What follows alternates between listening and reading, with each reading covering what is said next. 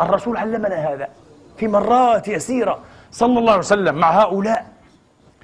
كان يضع الشيء مواضعه في كل شيء من أمر دنياه وأخرى صلى الله عليه وسلم. لا يفرط ولا يحيد ولا يضيع ولا يقصر أيها الإخوة. آه. لا إفراط ولا تفريط لا وكس ولا شطط. إنما هي المعدلة وخطة الوسط وخطة الوسط.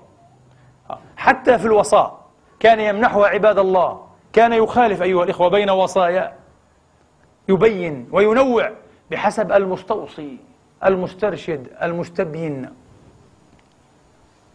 أوصني يا رسول الله قال لا تغضب.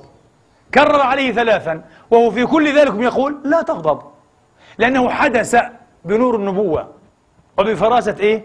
النبوة أيها الأخوة. أنه أمام إنسان غضوب. خفيف. يمكن أن يستخفه أي شيء. بعض الناس هكذا. مثل ملح على مقلاة.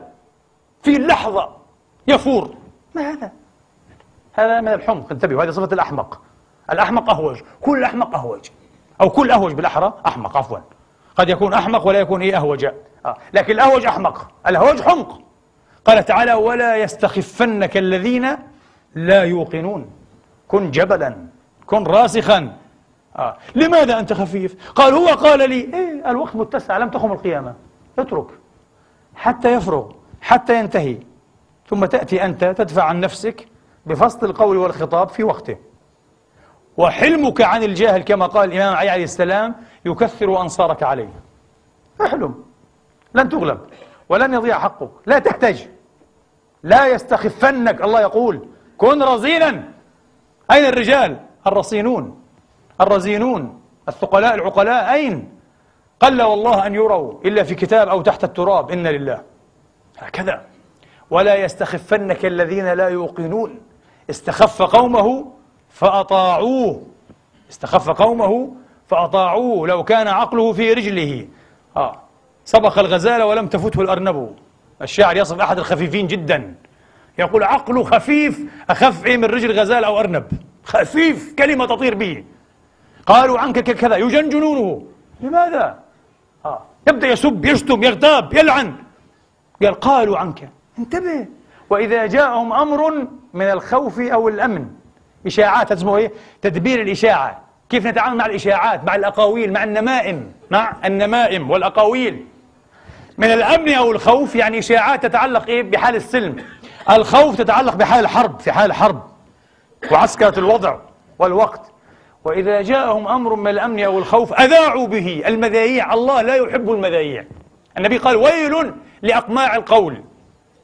من هم أقماع القول؟ الذين يسمعون ويذيعون الكلام. مباشرة في صحيح مسلم كفى بالمرء إثما أن يحدث بكل ما سمع. وفي رواية كذبا. كفى بالمرء كذبا. قال هذا كذاب. ما هي حجتك؟ زعموا. وفي الصحيح بئس مطية الرجل. زعموا. أسوأ مركوبة تركبها؟ مركوبة زعموا. بيقولوا يقال يقال.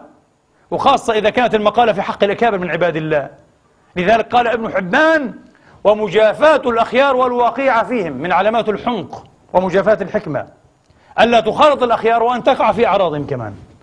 يعني لا تستفيد منهم ولا من عقلهم ولا من علمهم ولا من تجاربهم وتقع في أعراضهم كمان للحمق إيه معجون بطينة الحمق والعياذ بالله. انتبه. آه. هكذا قال أذاعوا به ولو ردوه إلى الرسول وإلى أولي الأمر منهم لعلمه الذين يستنبطونه منهم. اسألوا أهل الذكر إن كنتم لا تعلمون. في شأن عسكري لا نتكلم ونثير في الناس الخوف والفزع لا نتكلم. وإنما نحيل الأمر إيه؟ إلى العسكر إلى الجيش إلى أعلى سلطة عسكرية في الدولة. هي تعرف تدبر. في أمر مدني نحيل إلى السلطة المختصة إلى الجهة المختصة. تستطيع أن تميز الحق من الباطل والخاثر من الزباد وتضع إيه؟ الأمور إيه؟ في نصابها. ينتهي كل شيء. لا تكن من المذايع مذايع القول. تسمع كل شيء وتتكلم تردد. إياك. إياك وخاصة في الأكابر كما قلت. آه. على كل حال فالنبي قال لا تغضب. لا تغضب لا تغضب. أوصني يا رسول الله. أوصاه النبي حتى دون أن يستوصيه. قال أحسن خلقك للناس. قال كان آخر ما أوصاني به حين وضعت رجلي في الغرز. معاذ بن جبل. قال يا معاذ أن أحسن خلقك حسن يعني أن أحسن خلقك للناس. وصية. أنت رجل كامل وعالم ازدد من هذا. المعاملة. المعاملة شرف المعاملة. رقي المعاملة كن عبدا راقيا كن عبدا راخيا أوصى ثالثا فقال له إياك وما يعتذر منه. الله أكبر. كم نحن أحرياء بهذه الوصية؟ أيها الإخوة محتاجون إلى أمثالها. إياك وما يعتذر منه. قال أحد الصالحين لي أربعون سنة. لم يبدر مني ما يحوجني أن أقول لأخي اعذرني اغفر لي. لماذا؟ لم يخطئ. لا يخطئ في حق أحد. ترون هذا من يكون؟ ما هو نعته وصفته؟ ما هي صفته؟ صفته أن لسانه من وراء قلبه. هذا القلب وهذا اللسان. لا يتكلم كلمة لا يقول شيئا لا يتقدم إلى أمر بقول. حتى ماذا؟ حتى يجيل إيه؟ نظر قلبه فيه. مرة ومرات ومرات ومرات. وينظر. هل فيه مصلحة؟ هل فيه خير؟ هل فيه رضا الرب تبارك وتعالى؟ هل صحت فيه النية والعزيمة والقصد؟ إن كان كذلك أنفذناه فقلنا بإذن الله قول كله خير ونور إن لم يكن كذلك أمسكنا وسكتنا كظمنا هذا رجل عاقل إياك وما يعتذر منه ترى بعض الناس وقد يكون من الكبراء في العلم أو العمل أو الرتبة كذا يغلط في المجلس الواحد عشرين مرة ويعتذر عشرين مرة يا رجل يا رجل. أنت لم تعد كبيرا أنت أصبحت الآن لا شيء. والله أصبحت لا شيء. ما الذي يحوجك وبعض الناس يعتذر إلى من هو دونه علما وعملا وسنا وقدرا. ويأتي وأقبل رأسك وأقبل يديك يا أخي إن شئت. لماذا تقبل؟ لأنك غلطت عليه أخطأت في حقه وسفهت. لماذا؟ لأن لسانك قبل قلبك. بعض الناس لسانه قبل أي قلبه أمام قلبه قدام قلبه. لا يخطر على قلبه شيء خاطر إلا نطق به لسانه. الله أكبر. حماقة. النبي قال إياك وما يعتذر منه فكر.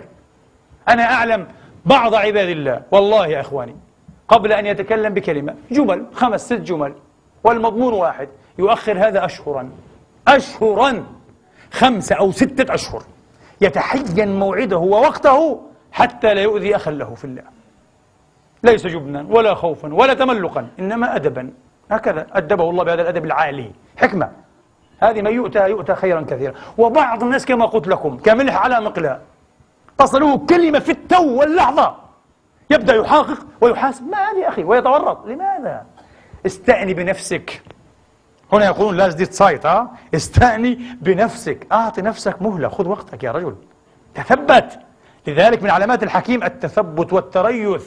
ليس من مذايع القول ليس من مذايع القول. وأوصى رابعا بالصلاة وأوصى خامسا ببر والديه وأوصى وصاياه كانت مختلفة. للأسف أدركنا الوقت. طبعا نحن نحتاج إلى سلسلة خطب أيها الإخوة. ولن نفي إلا بجزء يسير أيسر من اليسير وأنزر من المنزور من مقام تبيان حكمته صلى الله عليه وآله وأصحابه وسلم. لكننا محتاجون إليه.